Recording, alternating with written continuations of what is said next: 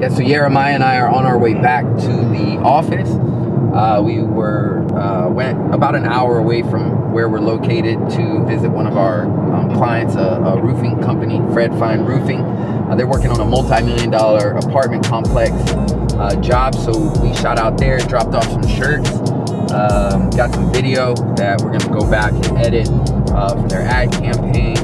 Um, just a few updates with what's going on with us. We're headed back to the office. We are going to uh, be finalizing the Made in Sanford box, prepping that for launch. Hopefully, uh, if everything goes well today, uh, we'll be launching that box tomorrow or uh, this weekend.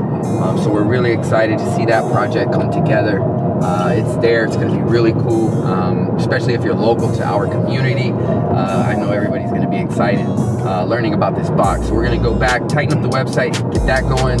Um, Kono, we are pretty much there. We've launched the website. We're going to pick up our first order today, and we're just waiting on our labels to come in. Um, so our expectation is that uh, hopefully by Monday, Tuesday, right before Thanksgiving next week, uh, we will be completing the launch of uh, the new updated Kono products and brand. So finally getting that project to come to an end as well. Uh, so we're extremely excited about that. Um, also, in the meantime, uh, we just recently signed on a few new clients with uh, One Source, um, uh, Rocco's Italian Grill. Uh, we're very excited to work with him.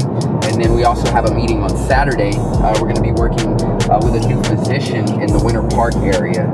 So um, we're going to be closing that out. Um, and then on our printing division, we finally did our first week of doing in-house printing. Went really well, so uh, we're excited about that area, developing that out into its own department. Um, you know, we do handle hats, shirts, stickers, anything like that, so keep that in mind. Um, so all of the projects we've been talking about um, in the past videos and over the past few weeks that we've really been working hard on is all coming to a close. Um, I would say by Wednesday. Uh, so we will be closing our office Wednesday, Thursday, and Friday to give everybody the chance to um, spend time at home, recharge, refresh. We've all put in extra hours the past few weeks. Uh, and we'll be kicking off the Made in Sanford box, Kono Naturals, um, and our printing division um, prior to going out on that break. Once we get back from Thanksgiving, um, you know, we'll be pressing the gas even more. Still focused on prepping for the new year. Hope you all are doing the same.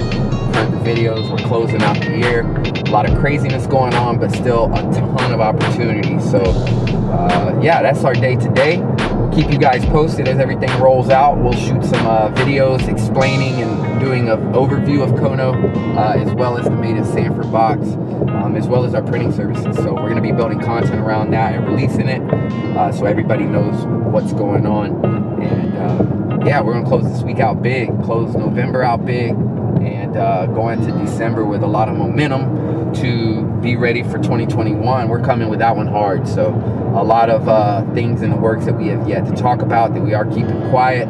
Um, can't necessarily talk about them yet, but we do have some big things going on with One Source Branding and Media. So excited to share that with you guys. Yeah, check back later. We'll release uh, release more updates.